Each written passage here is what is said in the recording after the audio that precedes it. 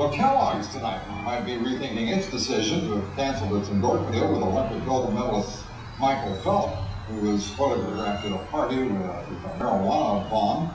That company that monitors corporate brand reputations reports that in the month of October, Kellogg's was the ninth ranked company in the nation by branding.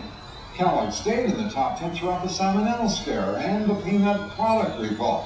When it dropped Michael Phelps, Kellogg's rating, its brand rating, plunged. Today, Kellogg's ranks, are you ready? Number 86. Bavano has tens of thousands of users who rate a corporation based on human service, environmental, and community service. Kellogg's, well, they decided not to run out call inquiring about, well, Michael Phelps, bongs, and endorsement deals.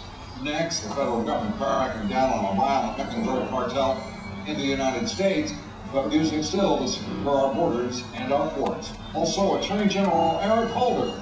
Well, he uh, turns out he wants to continue his assault on the Second Amendment to help out his friends, apparently, in the Mexican movement. And the United Nations is at it again. Well, it seems that our sovereignty is important to them either.